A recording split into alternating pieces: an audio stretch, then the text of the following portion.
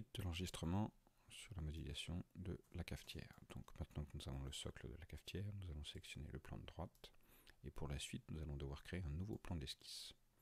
Donc le plan de droite étant sélectionné, nous allons aller dans les fonctions, nous allons ajouter une géométrie de référence de type plan. Ce plan sera donc décalé de 80 mm par rapport au plan de droite. Je valide et donc là nous avons maintenant notre plan qui est décalé 80 mm par rapport plan de droite. Maintenant que ce plan est défini, nous allons pouvoir faire une esquisse dans ce plan, nouvelle esquisse. J'appuie sur la barre espace pour euh, choisir l'orientation, le mettre normal à la fenêtre pour être perpendiculaire.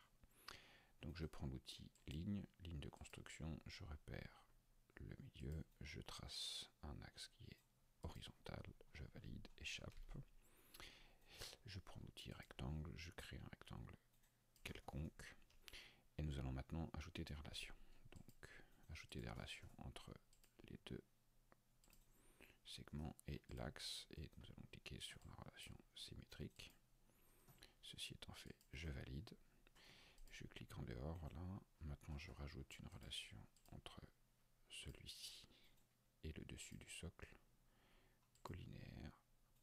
Je valide. Donc j'ai rajouté ma relation. Il me reste maintenant à définir les dimensions de ce rectangle. Nous allons cliquer entre, alors échappe, cotation intelligente, entre celui-ci et celui-ci, nous devons avoir 100 mm.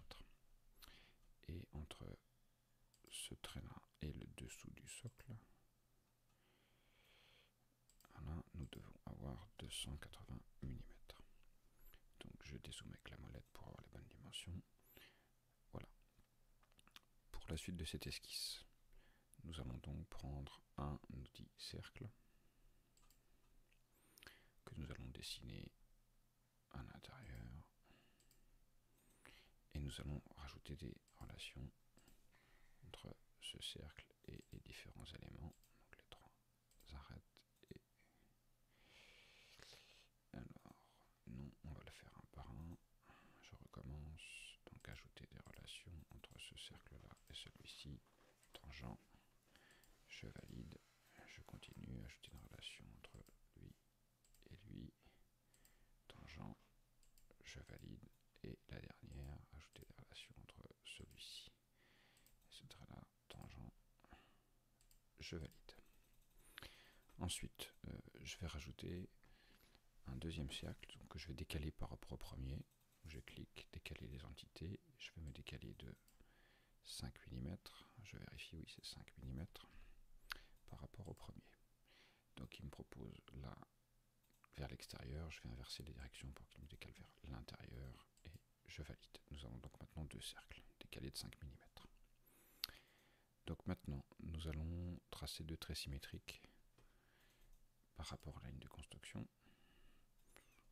D'accord Donc qui doit être tangent au premier petit cercle, donc je clique dessus à l'horizontale jusqu'en bas je peux dire maintenant que je veux une entité symétrique.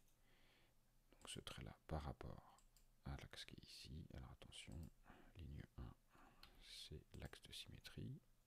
Voilà. Je valide. nous avons maintenant tous les traits présents sur notre esquisse. Il va donc falloir maintenant définir quels sont les traits à garder, quels sont les traits qui ne servent qu'à la construction. Donc je vais sélectionner celui-ci. Alors, contrôle plus celui-ci plus celui-ci et je vais donc pouvoir définir que ce sont des traits pour la construction. Je valide. Donc maintenant je vais ajuster les entités. Euh, alors il me manque, pardon, il me manque encore deux petits traits que je vais définir euh, pareil. Euh, ceci. Celui-ci, je vais créer encore une symétrie par rapport donc, ce trait-là, par rapport à celui-ci. Donc les deux traits sont être symétriques et je vais ajouter une cote pour dire que les deux traits doivent être distants de 40 mm. Et je valide.